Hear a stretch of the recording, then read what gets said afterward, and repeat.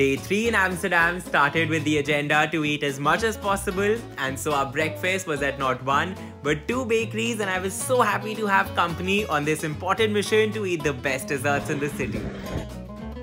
Parents had booked a tour to the tulip fields, so they left for that, and I came to Tony Chocolate's Superstore where you can customize your own chocolate bar. This was so fun, and I definitely recommend you do this if you come to Amsterdam.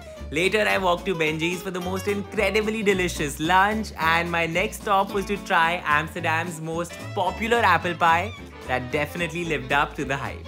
While traveling with parents is the best thing ever, I am glad that I've also started enjoying my own company.